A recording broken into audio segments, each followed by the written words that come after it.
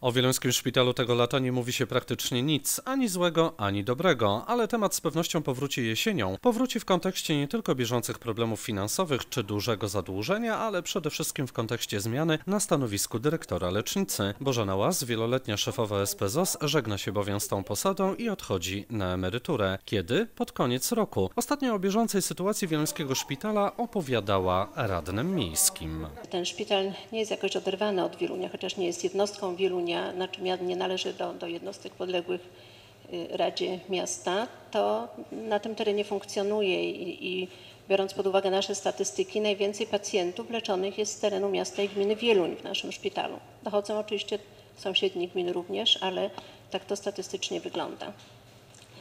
I cieszę się, że będę mogła o tych wszystkich sprawach z Państwem porozmawiać i, i dobrych, i złych, bo myślę, że to jak w każdej firmie i wszędzie są różne problemy, różne sprawy, o których warto y, przy takich okazjach rozmawiać. Choć problemy szpitala to mówiąc kolokwialnie działka radnych powiatowych, bo organem założycielskim lecznicy jest starostwo, to także radni miejscy mieli wiele pytań do dyrekcji. Może nawet więcej niż samorządowcy z powiatu. Tam, co widać w naszych telewizyjnych relacjach, jest grupa zaledwie kilku radnych interesujących się na bieżąco tym, co dzieje się w lecznicy, oprócz rzecz jasna zarządu powiatu. Ale wróćmy do pytań, które padły na sesji Rady Miejskiej. Co Pani w ostatnim okresie czasu zrobiła, żeby zejść z kosztów? Bo z tego, co tu wynika, w roku 2005 w tej wykazie jednostek organizacyjnych, no uważam, że y, y, już Pani mówi, ale chodzi mi o punkt administracji. Mamy tak, samodzielne stanowisko do spraw BHP. Czy to nie może być jedno stanowisko, jak jest samodzielne stanowisko do spraw przeciwpożarowych i ochrony? Nie może to się jeden BHP-owiec tą sprawą zajmować, problemami? Druga sprawa, pełnomocnik do spraw jakości. Jakiej jakości? Mam nadzieję, że nie obsługi y, pacjentów, bo jeżeli chodzi o to, no to jest jakość, powiem Pani na swoim przykładzie, że jest bardzo, bardzo kiepska. Podkreślam, bardzo kiepska. I to nie jest tylko y, moja opinia. Czy mamy w, SPZOS wielu zatrudnionego kapelana? Jeżeli tak, to czy duże koszty z tego powodu ponosimy? Mamy pielęgniarkę naczelną i w punkcie 16 kierownik do spraw koordynacji pracy pielęgniarek w szpitalu. Mam teraz takie pytanie, czy też mamy w Wieluńskim Szpitalu kierownika, dyrektora do spraw koordynacji pracy lekarzy? Bo jak pani dyrektor kiedyś też zgłaszałam, że w Wieluniu to się odbywa w ten sposób, że lekarze pełnią dyżury, który jest 8 czy tam 12 godzinny na dwóch oddziałach jednocześnie. Na te 500 osób, które zatrudniamy w szpitalu, dział kadr składa się z trzech osób. Dział kadr składa się z trzech osób, gdzie oprócz 500 osób, to są umowy o pracę, jest przeszło 100 umów jeszcze kontraktowych, ale te wszystkie osoby są wliczane już w tą ilość, co tutaj podaję, bo są no, różne, różne tutaj umowy. Więc chcę podaję to, żeby podać, jak naprawdę staramy się ograniczać i bardzo y, oszczędnie gospodarować personelem. Nie ma żadnego samodzielnego stanowiska BHP, bo właśnie jest połączone z PEPOSZ, ale my musimy wydzielać w tym y, nazwę, natomiast osobowo wykonuje to jedna osoba. Zajmuje się sprawami BHP i zajmuje się sprawami przeciwpożarowymi. Nie mamy oddzielnej, jest to jedna osoba, jeden pracownik. Jeden etat, oczywiście. Jeden pracownik, jeden etat. Ile mamy karetek i czy korzystamy z obcych środków y, lokomocji, karetek i jakie, to, jakie ponosimy z tego tytułu koszty? Tak zwane karetki systemu to są y, karetki, które y, działają w systemie ratownictwa medycznego. Na naszym terenie są to trzy karetki, karetka S i dwie karetki P. Dwie karetki S i P stacjonują w, tutaj w Wieluniu przy szpitalu, jedna w Osjakowie. Karetka S to jest, taka, to jest trzyosobowy skład zespołu, lekarz i ratownicy, bądź pielęgniarka i ratownik. Karetki P to są karetki dwuosobowe, gdzie jest kierowca, ratownik i ratownik. I kiedyś korzystaliśmy z zewnętrznego sprzętu, tutaj, znaczy mówię o taborze, prawda? W tej chwili to są nasze karetki i w tym zakresie nie korzystamy z karetek z zewnątrz, to są nasze szpitalne karetki. Z kolei Jan Kępiński pochwalił lecznicę, przynajmniej dwa jej oddziały. Skoro był jej pacjentem, to pewnie wie, co mówi. Doświadczyłem troszeczkę szpitala e, w ubiegłym roku. Byłem nawet e, dwukrotnie w szpitalu. No i takie dwa oddziały, o których mogę powiedzieć pani dyrektor, że wspaniała służba. pulmologia i oddział wewnętrzny męski. Także tutaj wydaje mi się, że spisuje się medal, na medal dobrze te oddziały.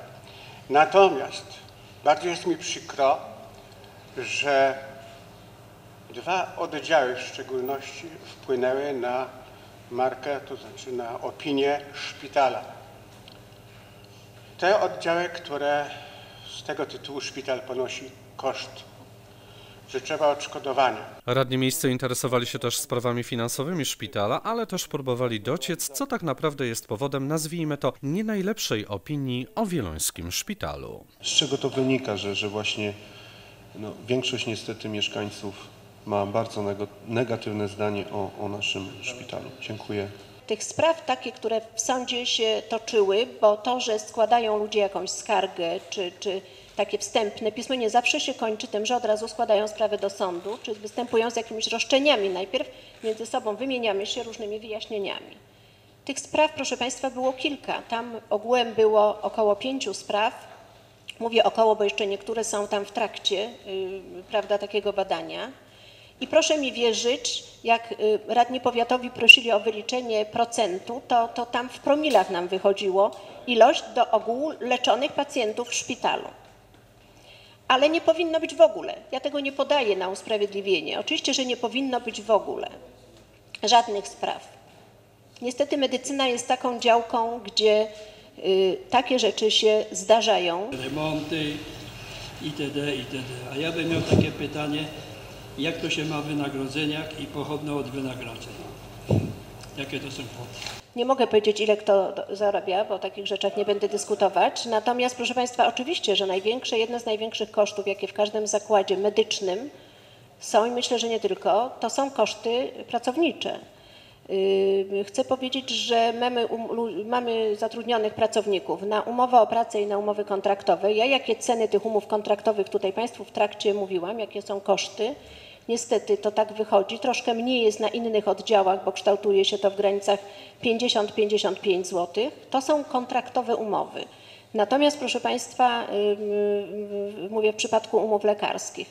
Natomiast troszkę inaczej jest, jeżeli chodzi o kontraktowe umowy dotyczące pielęgniarek czy ratowników, a to tylko dlatego, że zwykle startuje więcej osób niż my mamy potrzebę zatrudnić, albo też nawet i firmy, i więcej tych, tych firm, bo to są firmy tutaj y, na miejscu, ale też są firmy z Łodzi, które startują i tutaj ta rozpiętość wtedy jest o wiele mniejsza i proszę mi wierzyć, że no niestety czasami te, te na poziomie 13, 14, 15 zł są stawki godzinowe pielęgniarek, ale to nie wynika to, że ja tu ustalam, tylko tak składają taką, taką ofertę. Do dyskusji włączył się też burmistrz, zwracając uwagę na to, że także i gmina Wieluń wspiera finansowo szpital. Gmina od iluś lat jest, prowadzi taką politykę wsparcia dla szpitala, bo od kiedy ja pamiętam zawsze wszelkie prośby, wnioski powiatu o wsparcie różnych inicjatyw, które takie, które mają podnieść właśnie stan sprzętu w szpitalu były e, akceptowane przez wszystkich burmistrzów, o ile pamiętam. E, Też przypomnę, że gmina nie pobiera podatek, podatku od nieruchomości szpitala, co no, też jest jakimś tam dochodem gminy, który, którego gmina nie, nie pozyskuje i to jest też w tych, w tych naszych, no, że tak powiem, należnościach, ale to jest element y, taki, że my mamy świadomość tego, że szpital w Wielonie jest bardzo potrzebny. I na razie to wszystko. Po więcej zapraszamy już do tematu tygodnia. W programie cała dyskusja radnych miejskich o sytuacji wieluńskiego szpitala.